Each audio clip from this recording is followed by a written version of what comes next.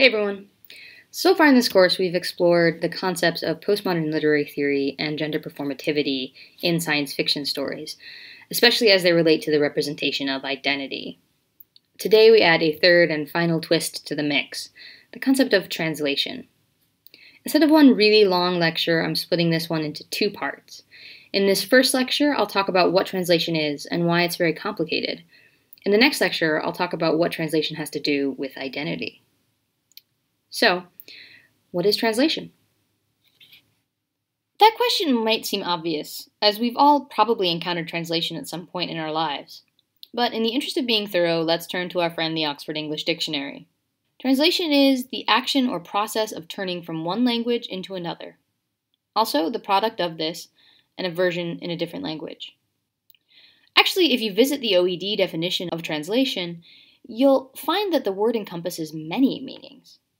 For our purposes, we are referring to linguistic translation, but it's important to remember, and we'll talk more about this shortly, that translation also functions as a metaphor for all kinds of transformation. Now, this is a comparative literature course, and translation is a key component to the discipline of comparative literature. As opposed to English or Spanish or any other specific language or literature department, comparative literature focuses on a variety of texts from a variety of cultural, and linguistic backgrounds. In fact, here at this university, if you take a Comp Lit course, you're guaranteed to encounter texts in translation, that is, text not originally written in English. In this course, we've got three main texts in translation Invisible Planets by Hong Jingfang, which was originally written in Chinese, A Drunken Dream, which was originally written in Japanese by Moto Hagio, and finally, the novel we'll be reading shortly, Stanislaw Lem's Solaris, which was originally written in Polish. There are many reasons we feel it's important to examine literature from a variety of cultural and linguistic backgrounds. Uh, however, two of the most important are to foster linguistic and cultural diversity and to engage an increasingly global scope in our understanding of literature.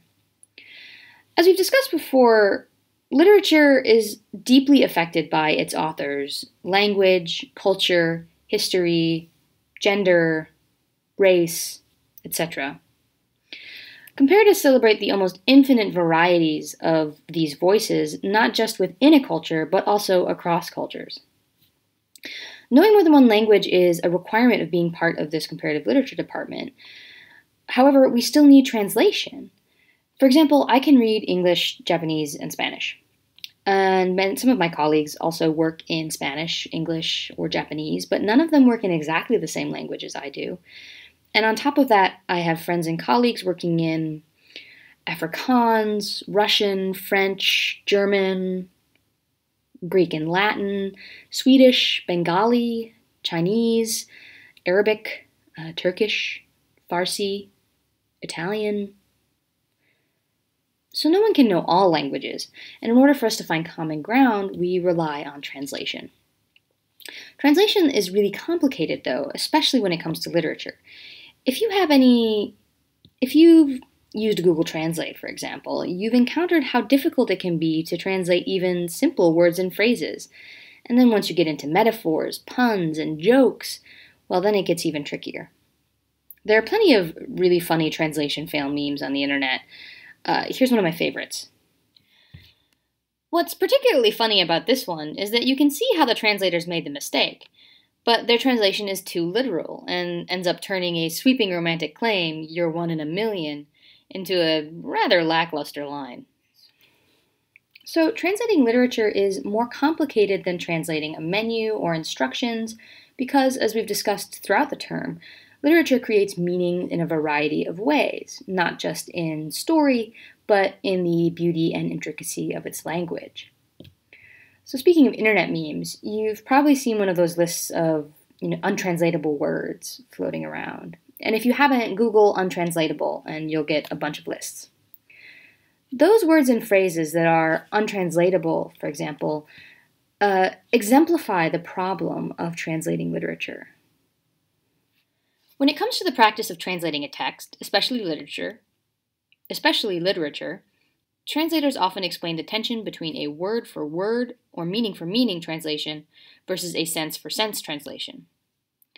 Word for word translation is sometimes called a literal translation. It will make sure that every word and phrase is reproduced as it appeared in the original. While this may seem ideal, it can cause problems. Languages have different grammatical structures, and often a target and a source language won't have the same structures or words. So, take for instance gendered languages like Spanish or French. Words in English don't have genders, but in Spanish, nouns do. So, the word manzana, which is the word for apple, is feminine in Spanish. Uh, the gender of a word will change the way that a word interacts with other words around it, and then obviously create gendered connotations. So while manzana literally translates to apple, you get the meaning, but you might not get the entire sense of the word. Sense for sense translation, on the other hand, is more concerned with capturing the overall feeling and flow of the target text. While sense for sense translators do pay attention to the literal meaning of texts, they are sometimes willing to sacrifice a literal translation for one that captures other aspects of the work, like its poetry or sound.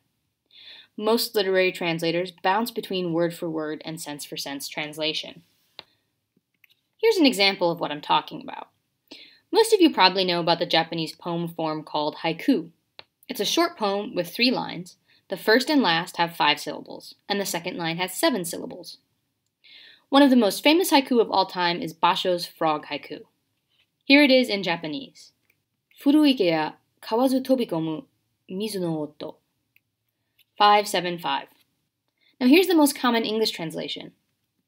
An old pond, a frog jumps in, the sound of water.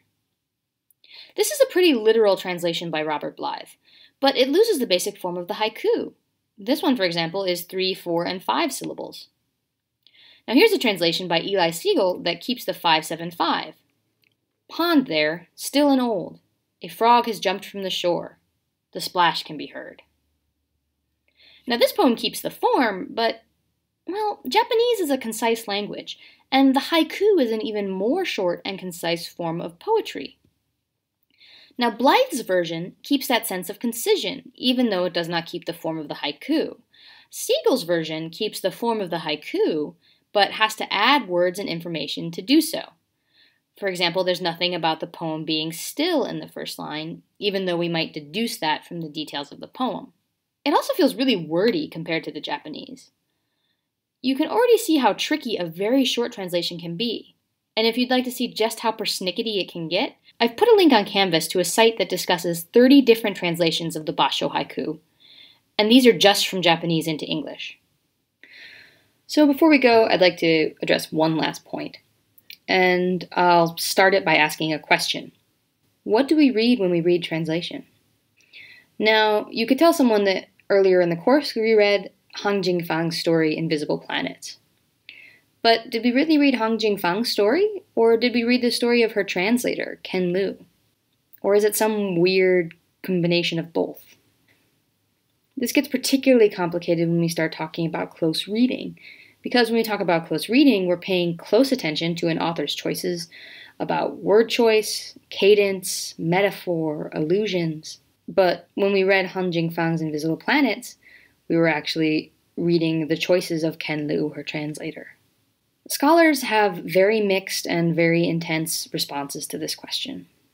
There are some groups that would argue while it's not bad to read in translation, you should know that if you're reading in translation, you're not reading the story. You didn't read Invisible Planets. Others, and I'm with them, would argue that to some extent all reading is imperfect, and translation is another kind of imperfection. That doesn't mean we shouldn't be aware of it, and we should understand that our close reading of a text in translation might not necessarily be accurate to the original version.